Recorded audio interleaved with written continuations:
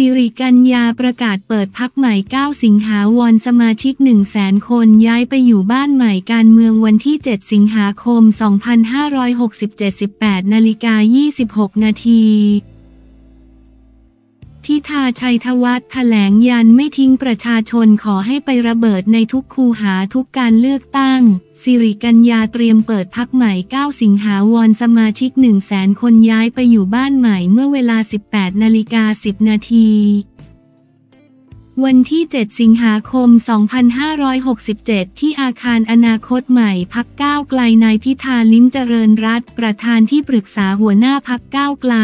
พร้อมด้วยนายชัยธวัฒน์ตุลาธนหัวหน้าพักก้าวไกลและสสพักก้าวไกล ถแถลงหลังสารรัฐธรรมนูญมีมติเอกฉันยุบพักก้าวไกลและตัดสิทธิคณะกรรมการบริหารพักสิบปี นายชัยธวัฒน์กล่าวว่าเนื่องจากคำวินิจฉัยของสารรัฐธรรมนูญ ส่งผลชัดเจนว่าพักก้าวไกลถูกยุบและกกบห 11 คนชุดที่ 1 และ 2 ถูกตัดสิทธิทางการเมือง 10 ปี แม้ศาลจะมีคำวินิจฉัยว่าพักคิดล้มล้างการปกครองและกระทำการอันอาจเป็นปฏิปักษ์ต่อการปกครองก็ตาหนึ่ง ในฐานะอดีตกกบหขอยืนยันว่าในข้อเท็จจริงและหลักกฎหมาย เราไม่ได้กระทำผิดไม่ได้ล้มล้าง หรือเป็นปฏิปักษ์ต่อการปกครองสองผลวินิจฉัยในวันนี้สิ่งที่ได้รับผลกระทบสำคัญกว่าการดำรงอยู่พักก้าวไกลและกกบห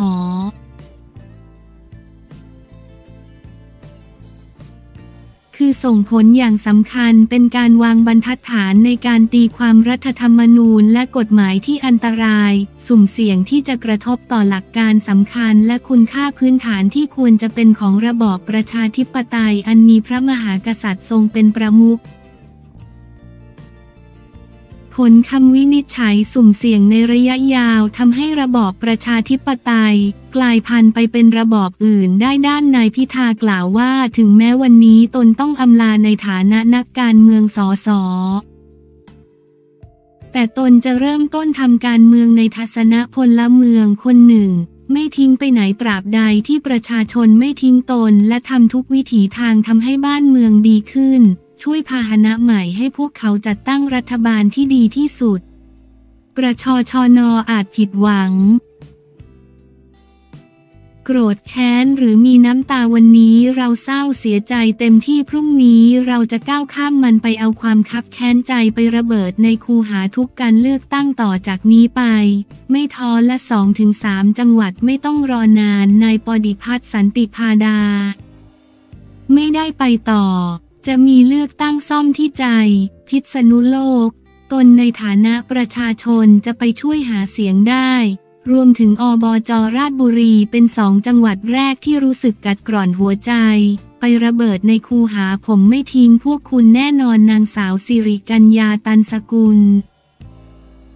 สสบัญชีรายชื่อรองหัวหน้าพักก้าวไกล กล่าวว่าวันนี้เป็นวันที่พวกเรารับคำวินิจฉัยยุบพัก ซึ่งคนที่ต้องรับรู้ถึงความรู้สึกเจ็บปวด ไม่พ้นพวกเราถูกยุบเป็นครั้งที่สองเรารับรู้ถึงความไม่เป็นธรรมที่เกิดขึ้น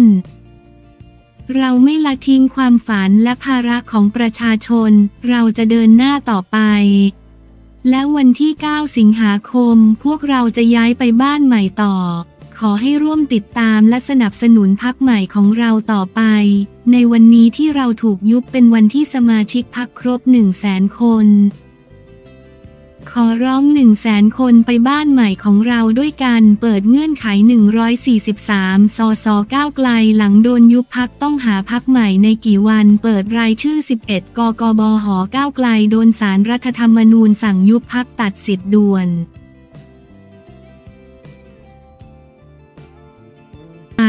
ด่วน ก้าวไกลไม่รอดสารรัฐธรรมนูญมีมติสั่งยุบพักคดีล้มล้างการปกครอง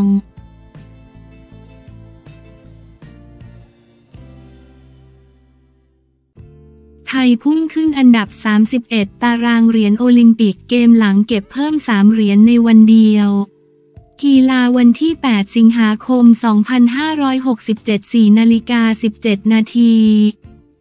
ไทยอันดับตารางเหรียญโอลิมปิกเกมล่าสุดพุ่งพรวดขึ้นไปสู่ที่ 31 หลังจากเก็บเพิ่มได้ 1 ทอง 1 เงิน 1 ทองแดงจาก 3 นักกีฬาภายในวันเดียวไทย อันดับบนตารางเหรียญโอลิมปิกเกม 2024 พุ่งพรวดขึ้นสู่ที่ 31 หลังจากคว้าเหรียญทองแรกมาได้สำเร็จ ถมยังเก็บเพิ่มอีกหนึ่งเหรียญเงิน และหนึ่งเหรียญทองแดงภายในวันเดียวกันวันที่ 7 สิงหาคมสำหรับไทยได้เหรียญทองแรกในปารีสเกมจากเทนนิส พานิพักวงพัฒนกิจในกีฬาเทควันโด ที่กัด 49 กิโลกรัมหญิง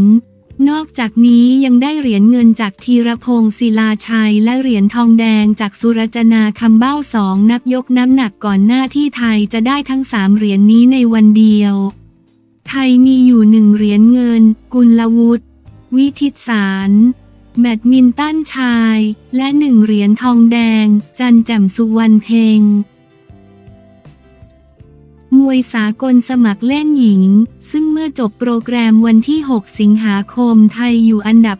55 ร่วมแต่จากการได้เหรียญมาเพิ่มอีกดังกล่าว ตอนนี้ไทยจึงมีหนึ่งเหรียญทองสองเหรียญเงินสองเหรียญทองแดงทะยานขึ้นอันดับ 31 โดยอยู่เหนืออันดับ 31 จอร์เจียที่มี1เหรียญ2เหรียญเงิน1เหรียญทองแดง ขณะที่ 5 อันดับแรกล่าสุดเป็นดังนี้ 1. สหรัฐอเมริกา 27 ทอง 35 เงิน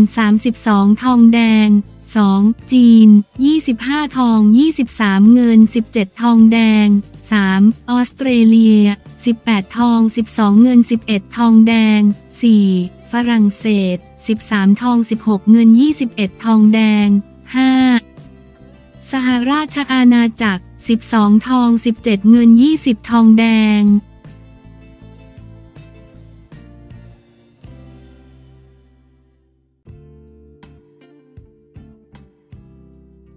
ปล่อยโฮลั่นพักแฟนคลับกอดคอร้องไห้หลังสารรัฐธรรมนูญยุบก้าวไกลตัดสิทธิ์กกบห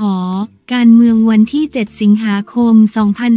2567 16นาฬิกา23 นาทีปล่อยโฮลั่นพักแฟนคลับด้อมส้ม กอดคอร้องไห้หลังสารรัฐธรรมนูญสั่งยุบก้าวไกลตัดสิทธิ์กรรมการบริหารพัก10 ปีเมื่อเวลา 16 นาฬิกา วันที่ 7 สิงหาคม